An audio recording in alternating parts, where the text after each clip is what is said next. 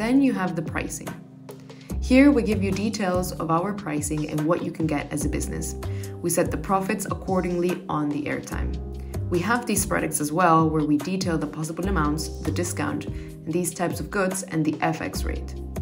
If your account is in euros, you have to check what currency the countries use and see the exchange rate. Now, the currency depends on the one you use for your account.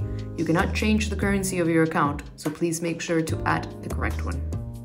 Here, you need to either select if you're looking at the discount type by um, the international discount type or the local discount type. Um, what this means is on the portal, you only have one option to send an international transaction. But via the API, you have the possibility to send the transaction like a local transaction. Then we will deduct the equivalent from your international wallet. For example, I have a USD wallet, but I want to send um, a top up to, let's say, Nigeria. This will help. This gives me the discounts I get if I'm sending to Nigeria. Unfortunately, all of this is set at zero but the FX is one to one, right? Because you're sending local. But that does not mean that it's one to one. There will definitely be a conversion.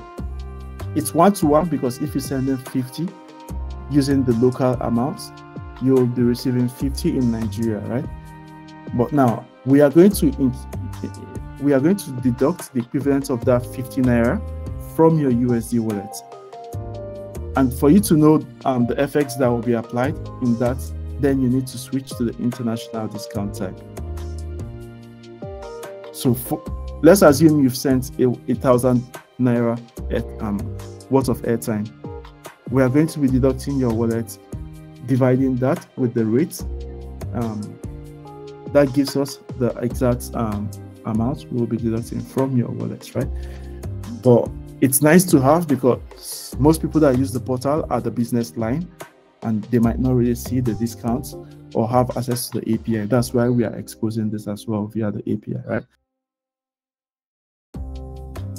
So here you have possibilities to filter by country, by operators, and by operator, operator name, discounts. This it's like more like sorting, sorting them by the operator name, or sorting by discounts, or sorting by the FX.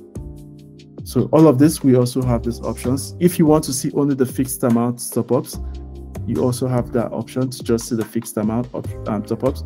If you want to see the range, you have the options to only see the range products as well. Then we have the pricing for the gift cards, and we give you a list of all of the gift card products. You can see the possible values and the discounts you get. You can also see if there's a fixed fee for some gift cards. And here you have all of the filters as well. You could filter by country or by products. We also have the utility payments, similar to that, the view is similar to that of the airtime. Um, you can filter by country and it gives you like the list of um, we have in that country and as well as the pricing.